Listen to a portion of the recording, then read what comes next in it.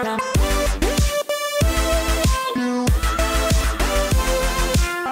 så gutter, og velkommen til min allerførste Advanced Warfare video. Vi skal kigge lidt på Creator Class i dag, og øh, det vi egentlig skal mest kigge på, det er de forskellige våben der. Øh, jeg har unlocket ingenting, øh, jeg er i level 1, jeg har lige fået spillet, og jeg har egentlig fået Early Access, uden at jeg egentlig vidste.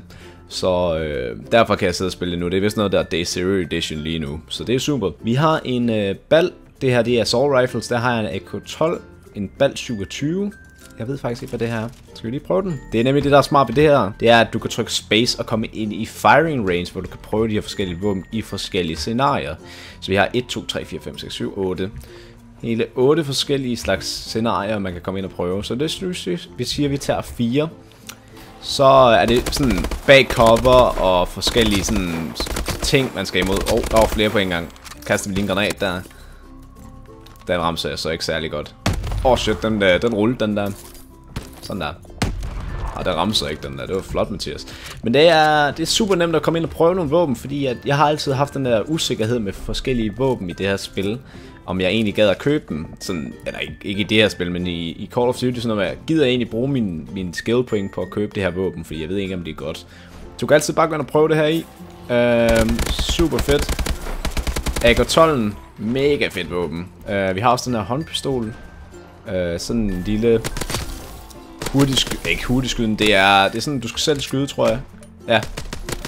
Det er cool indtil videre, det kører super godt, så hvis jeg sådan overvejer om jeg er 760 eller 680, det kan køre det, det kan det sagtens. Jeg optager lige nu øh, og spiller på øh, medium næsten high, tror jeg det er på 1080 med 60 fps. Øh, og det gør jeg altså også in-game i, i, i multiplayer. Så øh, det, det, kan I, det kan I være rolig på. Uh, I kan køre spillet. Det har ikke så, så høje requirements, ligesom Ghost. Um, der har vi lige noget movement her. Lyden i det her spil er altså også rigtig gode. Det, det skal de have. Det er et, uh, et godt spil indtil videre. Um, men jeg skal nok... Jeg tror faktisk, jeg kommer til at lave en masse video på det her spil. Bare sådan generelt, uh, når jeg kommer lidt længere i det. Uh, og hvis I gerne vil se en let's play af singleplayeren, så må I lige sige til, fordi at jeg har ikke særlig meget styr på, om jeg gider at lave en let's play på sådan nogle spil her, i forhold til singleplayeren. Så hvis I gerne vil se singleplayeren, så siger I til nede i kommentarerne, og så prøver jeg at få det ud hurtigst muligt. Det her det er den der shotgun der, der snakker så meget om. Den er dame dårlig på long range, det kan jeg godt mærke. Det er vores granater ikke! kan man også øh, Og du kan, okay, du kan også cook dem. Det, det er jo ikke sådan, jeg troede, det var sådan, at det, øh, det tog noget tid for mig at springe jo. Heavy weapons. Det har også fået sin egen class. Hold da kæft, det er et ordentligt våben det her. Hvad er det her? Åh, oh, shit! Jeg lige der hitmarkers. kom med Doritos, kom med Mountain Dew. Jeg glæder mig. Alle dem hitmarkers. Ah, men det er super fedt der. Der kommer også en zombies episode senere i, her i dag, øh, klokken 4, som det plejer.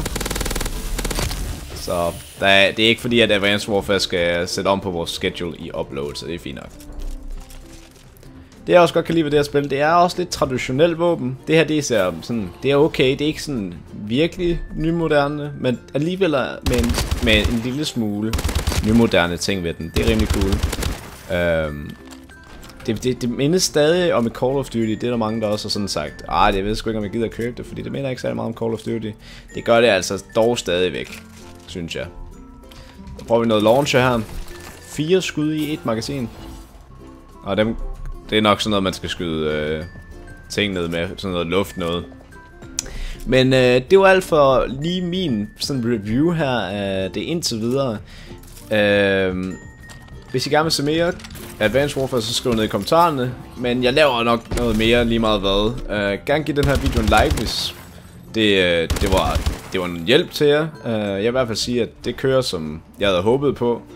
Og uh, der er rigtig mange uh, brugervenlige settings i det her spil. Uh, I forhold til view, eller hvad kan man sige, alle de her settings. Uh, så ja, Altså, jeg, jeg vil sige indtil videre, så er jeg ikke skuffet. Det er klart en, en oplevelse værd, det her spil indtil videre. Um, så ja, Det var alt for den her gang, gutter. Og så ses vi til den næste Advanced Warfare video, eller en helt anden video næste gang. Hej hej.